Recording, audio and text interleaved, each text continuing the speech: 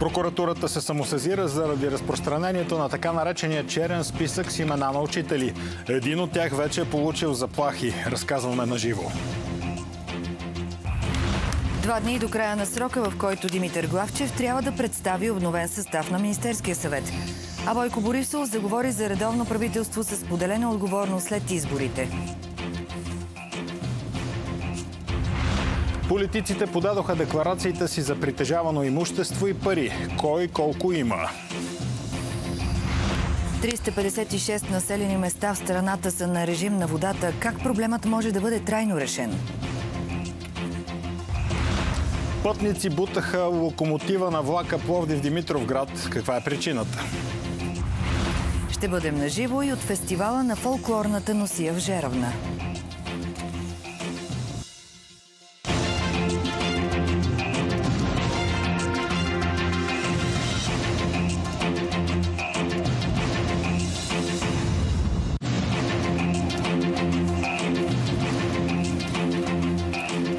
С централните новини на Нова. Добър вечер. Окръжната прокуратура във Варна се самосезира след разпространението на така наречения черен списък с имената на варненски учители, публикуван от местната структура на партия Възраждане. Имената са част от подписка на над 800 преподаватели от цялата страна, които са против промените в Закона за училищното и предучилищното образование. Днес преписката е докладвана на наблюдаващия прокурор. Междувременно инициаторът на подписката разказа пред Нова, че е получил заплаха в една от социалните мрежи. Софи Цветкова следи темата. Добър вечер. Добър вечер. Няколко са възможните действия, които наблюдаващият прокурор може да предприеме в зависимост от това дали установи наличие на престъпление или не. За чужда намеса в българската образователна система пък заговори днес лидерът на Възраждане Костадин Костадинов. Партията е подала сигнал до Софийската градска прокуратура за това. И още един елемент. Комисията за защита от дискриминацията съобщи, че е поступил сигнал от физическо лице срещу поправките в закона. Подателят на сигнала смята, че законът нарушава основни принципи на равенството и правата на човека. Часове след разпространението на така наречения черен списък, вече има и първи сигнали за заплахи. За това сподели самият инициатор на подписката Борис Илиев. Няма нищо българско в теб, а си един продажник, заради такива като теб България ще пада. Вместо да правиш подписки, замисли се за здравето си, че скоро може и да го нямаш. Снежана Славчева, преподавател по френски язик във Варна, казва, че без колебание се подписва в списъка. Първият мотив, заради който разписах тази позиция, е, че такава идеология, като така наречената джендър идеология, не съществува. Оттам не може да съществува и пропаганда за такава идеология. Бъркат се трите понятия идеология, пропаганда, информация. Тази сутрин лидера на Възраждане Костадин Костадинов съзря чужда намеса в системата на българското образование, като се позова на имена от списъка с преподаватели. Оказа се, че 534 от тях са били финансирани от Фундация Америка за България или спонсорираната от нея фундация Заедно в час. В отговор от Фундация Америка за България попитаха риторично кой е следващият. Атаките срещу хора заради това, че изразяват мнението си или участват в проекти, финансирани от Фундация Америка за България, напомнят за тоталитарното минало. Заставаме в подкрепа на учителите. Фундация Америка за България не финансира и не подкрепя политици, политически партии, политическа дейност или протести. Фундация Америка за България отказва да бъде въвличена в предизборни кампании. Отговор последва и от фундация Заедно в час. Заедно в час работи за равен достъп до качествено образование в България вече близо 15 години. Не поддържаме списъци с мненията и позициите на участниците в програмите ни. Всички български учители са професионалисти. Хора със свободна воля, достоинство и право на преценка. Според лидера на ГЕРБ Бойко Борисов, списъкът, но и предложението на Продължаваме промяната Демократична България за промяна на спорната дефиниция представляват агитация и пропаганда. Българските учители с изключително висока класа. Те не се подвеждат по такива ефтини пропагандни би ги нарекал тези. Още вчера окръжната прокуратура във Варна образува преписка по случая. Преписката се състои от медийни публикации, свързани с а, факта, че варненски учители са изразили писмено становище по повод на а, Закона за изменение на Закона за предучилищното и училищното образование. А, и този, тази подписка беше публично оповестена от една политическа партия. За новините на Нова, Софи Цветкова. Последни часове за служебния премьер Димитър Главчев, в които той трябва да приготви списък с министри за служебния кабинет Главчев 2. Президентът Румен Радев му даде срок до понеделник, за да представи структура и състав на ново правителство, което да подготви изборите през октомври. Но постави и условия – усилия срещу купения и корпоративния вод. Има ли вече яснота колко и кои министри може да бъдат сменени? Темата следи Марияна Турманова. Добър вечер.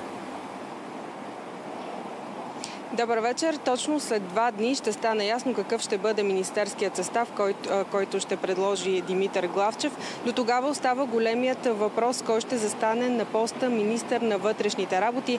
Днес темата за първи път коментира лидерът на ГЕРБ Бойко Борисов, който смята, че Калин Стоянов ще бъде сменен, но по думите му не защото е лош министър, а защото създава напрежение. И още Борисов поздрави Радев и Главчев, но ги призовава в понеделник да съобщят и за направените компромиси в кабинета, след като президентът, цитирам, е проявил претенции. Лидерът на ГЕРБ Бойко Борисов обяви, че не се интересува от името на служебния премиер. Дали е Горица, дали е Кики, Ники, Гълъб, на стената Министерски съвет сигурно места няма повече за портрети на премиери. Все пак изискват поздравление и президента Радев и Главчев че намериха сили и се надявам понеделник да има правителство. Защото след това политическа криза ще е още по-тежка. И въпреки, че поиска смяната на Калин Стоянов, заяви, че това ще е трудна задача пред министър-председателя. Калин се справяше много добре. Какво му беше да отива там пред президентството? Не знам. Защото аз не знам кой професионалист от тези, които що годен могат да бъдат министри и познават системата за два или три месеца, ще съгласи да стане министър. След това отива на Букука. След това отива там, където не може да си намери работа. Това е, какво да ви кажа, месомелачка за хора и техните кариери. Борисов призова държавния глава, след като е заявил, цитирам, претенции за състава на кабинета пред Горица Кожарева, заедно с Главчев да съобщят за отстъпките. А ако има и предпочитания, както тя каза, е хубаво в понеделник и Главчев и той да споделят къде са били компромисите в новия служебен кабинет. А той самият заяви, че не се меси. Защото то не ме интересува. Аз искам с моите правителства, които ръководя, да поемам ангажимент пред кметовете. И предложи редовно управление с поделена отговорност. Поканата е към всички партии, които споделят идеите на ГЕРБ. За новините на нова Марияна Турманова. Комисията за противодействие на корупцията обяви последни данни за имуществото на висшите държавници и политици. Какво показват декларациите за миналата година?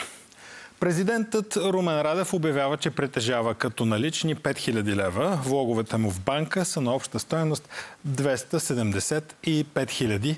Отделно от това отчита и инвестиции за повече от 23 000 лева. Служебният премьер Димитър Главчев обявява, че семейството му притежава три апартамента, вила с двор, парцел и гараж, както и един автомобил. Като налични пари Главчев държи 400 000 лева, а в банка обявява влогове на стоеност повече от 200 000 лева. Лидерът на ГЕРБ Бойко Борисов отчита като налични в брой почти 380 хиляди лева. В банка държи още 334 хиляди. Съпредседателят на Продължаваме промяната Кирил Петков притежава в брой почти 53 хиляди лева.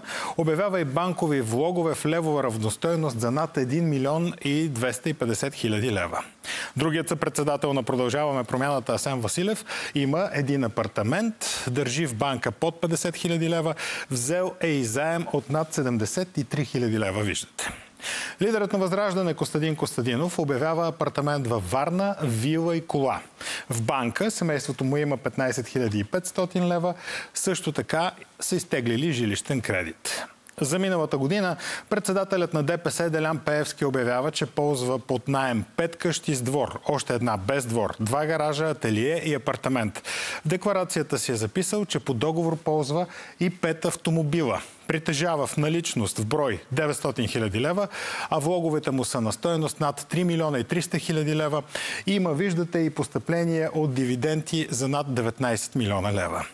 Другият председател на ДПС Джевдет Чакаров е записал в декларацията си две ниви в Асенов градско и автомобил.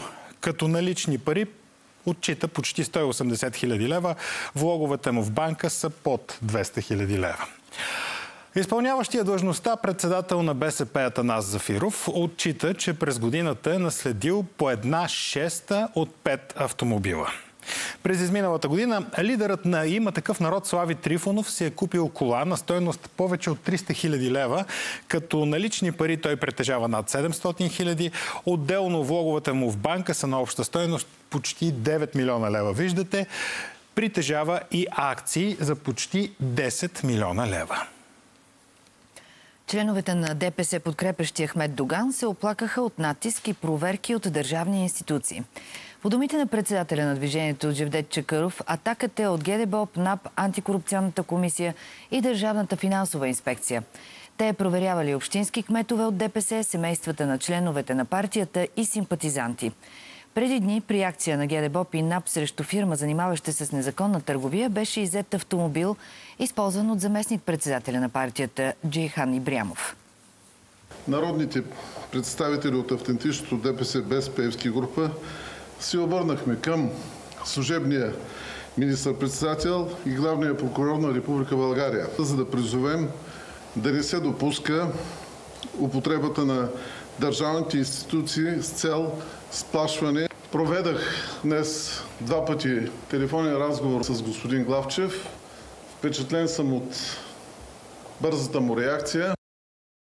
Сега към изненадващото посещение на директора на ЦРУ, ЦРУ Уилям Бърнс в Юго-Источна Европа, Босна и Херцеговина, Сърбия и Косово бяха сред спирките на ръководителя на американското разузнаване. Самолетът му прелетя и над България. Каква е причината за визитата и възможно ли е да има геополитически размествания след това? Отговорът на тези въпроси потърси Иван Кънчев, който вече е в студиото. Добър вечер. Добър вечер. Самолетът Boeing C-17A Global Master 3, за който се твърди, че превозва Бърнс, тръгва от Вашингтон на 19 август. В същия ден каца в столицата на Босна и Херцеговина Сараево. Ден по-късно на 20 август машината лети до Белград. Според данните на Flight Radar на 22 август самолетът тръгва от Сърбия и стига до Прищина. Тук Боингът прелита над страната ни и прави няколко кръга над Враца и Мездра. След това напуска въздушното ни пространство без да каца. Днес самолетът излетя от Прищина към Кайро. Знак за какво е това посещение и какви са срещите, на които присъства директорът на ЦРУ, ви разказваме в репортажа. Това е един от малкото видеозаписи, на които се вижда разузнавач номер едно на Съединените Американски щати по време на посещението си в Западните Балкани. Според вестника Дневния вас, издаван в Босна и Херцеговина, външният им министр Конакович, директорът на Агенцията за разузнаване и сигурност и членове на президентството са направили среща с Уилям Бърнс. Причината и темите, които са обсъждани, остават в тайна. Докато Черно море, сигурността в Черно море и източния фланг на НАТО а, добиха особена значимост значимост и видимост в последно време след войната на Русия в Украина, Западните Балкани като че ли остават едно петно на напрежение, което дори не е а, потенциално, за съжаление. То а, постоянно напомня за себе си поради поведението на Република Сръбска и Додик в Босна, но и също така поради събитията между Косово и Сърбия. Според информацията са обсъждани теми, свързани с териториалната цялост на Босна и Херцеговина. Посещението на Бърнс продължава в Сърбия и Косово. Посещението в Белград без съмнение е свързано и с руското влияние на Западните Балкани, храни една сериозна тревога, не само на САЩ, искам да кажа. Това е проблем, който се обсъжда и в рамките на Европейския съюз, и в рамките на НАТО. И най-лесен проводник за това влияние, за съжаление, е Сърбия. И въпреки, че темите, които са обсъждани са секретни, подобни визити не са случайност, твърди Поп Тодорова. Това е един от най-опитните американски дипломати. А, това не е типичният човек на, на ЦРУ или типичният човек на сигурността. Това е най-висша класа дипломат, който има и много успешен дълъг мандат в Москва, който познава прекрасно региона на Балканите. Това не е случайно а, пътуване или обичайно, дори нито е случайно, нито е обичайно пътуване. А, това е пътуване, което трябва да подскаже на събеседниците на Бил Бънс и в трите държави, а, че Съединените щати не са оттеглили а, вниманието си и ангажимента си към региона. А от Министерския съвет опровергаха твърденията, че директорът на ЦРУ е посетил и България, каквито се появиха по-рано в медиите. За новините на Нова Иван Кънчев. За руското влияние на Балканите и за войната на Русия в Украина темата продължава и в интервюто в новините. Гост ще бъде бившият заместник министър на отбраната професор Румен Кънчев. 245 милиона лева държавни средства ще бъдат разпределени като компенсации заради скъпия ток за бизнеса. За да се случи това е необходима нотификация от страна на Европейската комисия, която се чака до 9 октомври. Това стана ясно след среща между министъра на туризма Евтим Милошев и туристическия бранш по Южното Черноморие. Преди дни хотелиери и ресторантери обявиха готовност за протести дния вторник заради многократното завишаване на сметките за ток. Остава ли протестът, ще ни каже сега Цеца Алексова. Цеца, слушаме те. Здравейте! Протестът, който беше планиран за 27 август от хотелиерите в няколко сдружения в курортния комплекс Слънчев бряг се отменя. Това стана ясно преди час, след като по-рано днес те се срещнаха с служебния министр на туризма Ефтим Милошев. По време на срещата получиха уверение, че ще бъдат финансово компенсирани за постоянно растящите им средства, сметки, прощавайте, за електричество. Подробностите. Хотелиерите повече от месец негодуват срещу сериозно нарасналите им сметки за ток. Разходите нарастват в пъти. Ние следим всеки един разход и сме изключително притеснени от събитията, които се случват в момента. Ние работим в 24-часов режим. През деня енергията е сравнително на по-ниска цена, докато вечерта след 18 часа тя става няколко пъти по-скъпа. Навсякъде, където потребяваш повече, ти правят отстъпка, а тук е точно обратното трябва да плащаш повече. Разбирате ли, това е някакъв нонсенс. Търговски нонсенс. Затова хотелиерите насрочиха протест с настояване да бъдат компенсирани. След решението им при тях пристигна министърът на туризма, за да ги успокои. Припомни, че има решение на Народното събрание от 26 юли бизнесът да бъде компенсиран за цена на тока над 180 лева за мегаватт час, като сумата е 245 милиона лева за месеците юли и август. Парите са осигурени, Договорите с електроразпределителните дружества, през които трябва да мине тази помощ, за да стигне до крайните потребители, са сключени. Единственото нещо, което очакваме в момента е европейската нотификация на тази държавна помощ. Нотифицирането от Европейската комисия било единствения начин, по който държавната помощ може да бъде изплатена. Крайната дата за получаването на отговора от Брюксел била 9 октомври. Въпреки обещанията, бизнесът остава в готовност за протести и блокади на пътища. Но това в бъдеще да ни бъдат приспадани суми, ние нямаме доверие на държавата. За новините на Нова, Цеца Алексова. А колко точно населени места са без вода в момента, оказва се, че няма обобщена информация, която да отговори на този въпрос. От Министерството на регионалното развитие съобщиха за нова, че техните справки показват, че без вода са 356 населени места. Тук обаче не се включват градовете и селата, обслужвани от общински ВИК дружества. Според експерти, населените места на воден режим ще се увеличават през следващите дни. Вариантът поне в по-дългосрочен план да се търси решение на проблема е да се инвестира приоритетно във водния сектор. 100 милиарда лева са нужни за да спрем да имаме проблеми с водата, изчисли за нова бившият екоминистър Юлиан Попов инфраструктурата да се оправят също огромните загуби в ВИК сектора. Те са абсурдни. На някои места стигат до 98-9%. Ние дори не знаем колко точно язовира има в България. Тяхното управление е невероятно разхвърлено. Борислав Великов от Българската асоциация по водите припомни, че преди повече от 10 години е разработена стратегия за развитие на водния сектор у нас, в която е изчислено, че са нужни 12 милиарда лева, основно за нови водоисточници и намаляване на загубите. По думите му, нито лев не е бил инвестиран. Трябва да се предвидят тези инвестиции, дори ако е за сметка на някои е, други важни инвестиции, защото ние влагаме с основание средства за, за отбраната. Самолети, БТР и там каквото трябва. Да имаш вода, това е право на всеки човек и И е пак е въпрос на национална сигурност. Експертите са категорични, че е нужно и общо управление на водния сектор у нас, но просто поставянето на всички различни обекти и дружества под една шапка няма да реши проблема.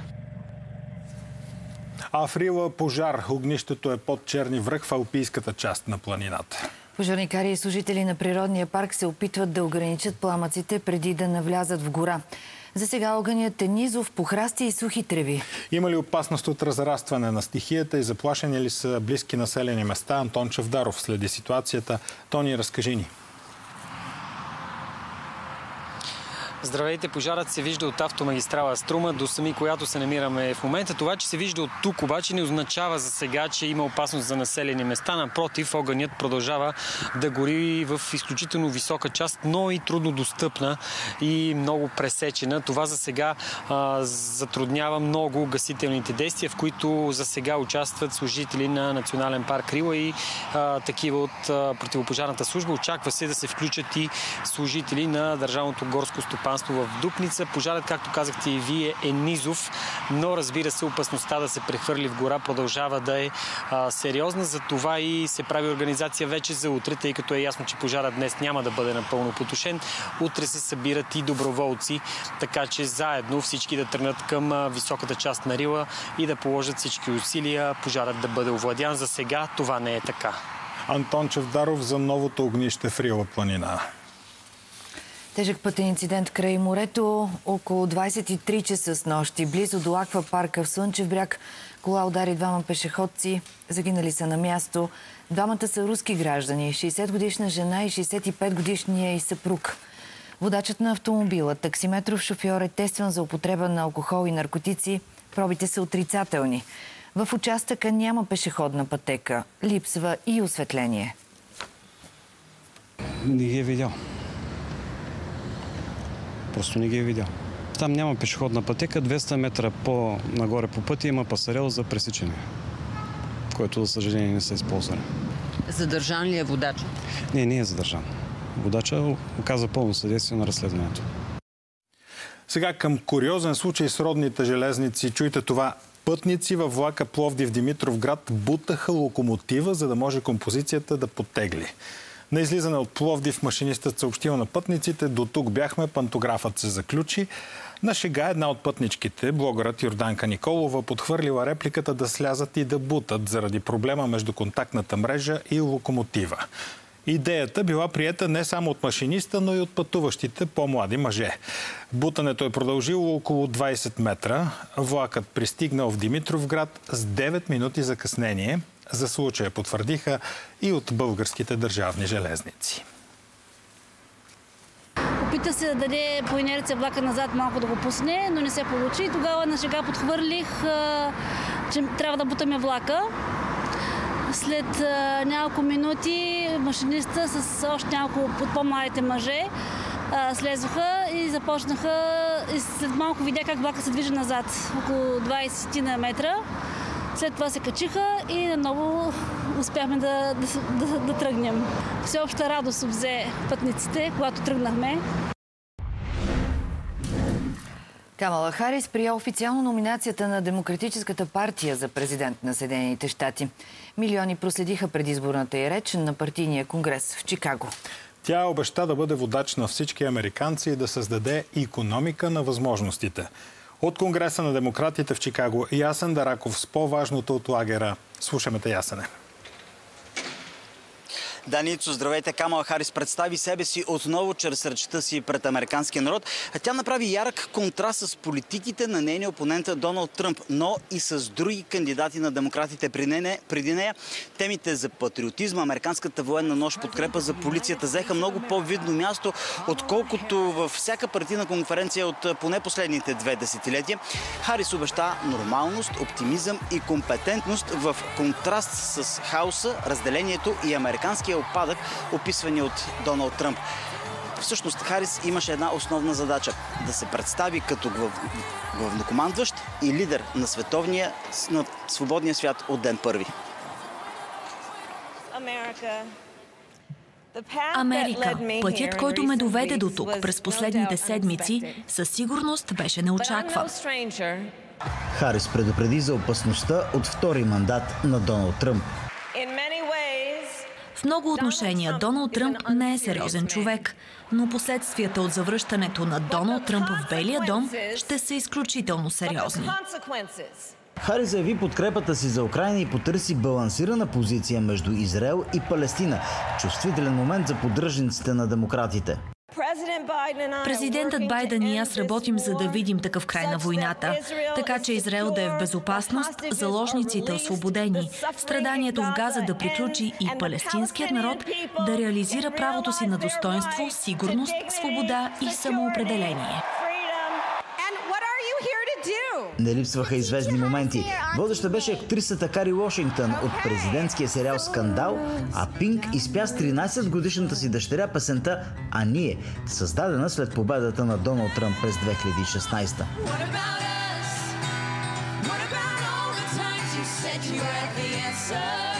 Сега предстои най-трудната задача за Камал Харис и екипа й да превърнат тази кампания в национално движение по пътя им към Белия дом.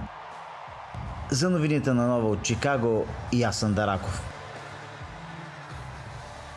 Украина започна пълна евакуация на град Покровск. Хиляди цивилни бяха качени на влакове и автобуси. Градът е в Донецка област. Преди войната имаше около 70 хиляди души население. Руската армия напредва към града и се очаква да го застигне съдбата на град Бахмут. Руската артилерия и авиация практически го унищожи. Двата града са важни точки в отбраната на Украина. В Покровск се пресичат няколко основни пътя в района и който ги контролира може по-добре да придвижва и снабдява армията си. Украина има отбранителни линии около града и изоставянето им ще бъде едно от по-значимите отстъпления в последните месеци.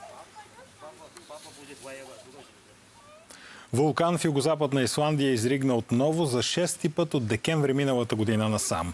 Той е разположен на полуостров Рейкянес, където живеят около 30 000 души. Учени издадоха предупреждения преди изригването заради натрупване на магма под земята. Общата дължина на пукнатината, от която се наблюдава изригването е около 4 км и се удължила с километър и половина за около 40 минути, уточняват от метеорологичната служба.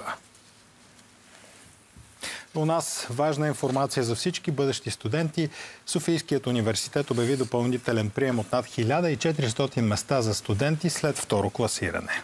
Кои са специалностите с най-много свободни места и съответно кои са най-желаните след първо класиране? Запрян Запрянов работи по темата. Добър вечер. Добър вечер. Допълнителният прием е за незаети места след окончателното класиране за учебната 2024-2025 година. Според списъка, публикуван на сайта на университета, над 1000 са свободните места за държавна поръчка, а около 400 виждате за платено обучение. Сега към специалностите. Най-много свободни места има за специалност информатика. 48 в редовна форма на обучение. Следват информационни системи с 26 места и предучилищна и начална училищна педагогика с 25 свободни места. Каква е причината за тази статистика и от какви кадри ще се нуждае пазарът на труда в близко бъдеще, разказваме в репортажа. Микаела е на 24 години. На 15 септември предстои да прекрачи за първи път училищния прак, но вече като начален учител. Няма по-хубаво нещо от това да работиш с деца. Децата са нашето бъдеще и смятам, че именно учителите са отговорни за да бъде бъдещето ни по-добро. Завършила е предучилищна и начална училищна педагогика. Една от специалностите с най-много свободни места в Софийския университет. Човек трябва да го усеща вътре в себе си, дали иска да го учи не е да е водеща роля това какво е заплащането. Ако не ни достави удоволствие, по-добре изобщо да не го записваме. Но в квартал Студентски град не всички разсъждават така. Каква специалност си ти? Телекомуникации. Как избра тази специалност? Ми, не знам. И аз честно казвам. Още не съм сигурна в своя избор. Само имам някакви предположения за какво искам да се занимавам. Най-желаните специалности след първо класирана в Софийския университет са право, психология и международни отношения. Ние нямаме нужда от толкова юристи и толкова психолози. Тъй като се създава предпоставка определени професии на пазара да се наводнят с кадри, за разлика от други. Според Надя Василева, част от специалностите с най-много свободни места в Софийския университет всъщност са професиите на бъдещето – информатика и училищна педагогика. Винаги, каквото и да се случи, ще са необходими учители, хора, които да обучават. А от друга страна, развитието на изкуствения интелект неминуемо ще търси хора с математически умения. А една от причините за липса на достатъчно кадри, освен демографската криза, се оказва текучеството на студенти в чужбина. Аз науча изобщо в България, в Холандия уча. Аз също, че в чужбина уча в Гърция, действително заради по-високото качество на самото следване. Самия кампус също като база, игрища е по-добре. За новините на Нова, Запрян Запрянов. Катастрофа с няколко автомобила на магистрала Хемос предизвика огромно задръстване. Инцидентът е при 21-я километр в посока Варна. Има ли пострадали, ще ни каже сега Алис Дамянова, която е на мястото. Слушаме те, Алис. Здравейте, намираме се на въпросния 21 км от автомагистрала Хемус. По информацията, с която разполагаме от спешна помощ, няма тежко пострадали. Единствено там споменават за леко пострадала жена. Информацията, която получаваме от МВР е за удар между няколко автомобила по-рано днес. А, вероятно става въпрос за 4-5 автомобила.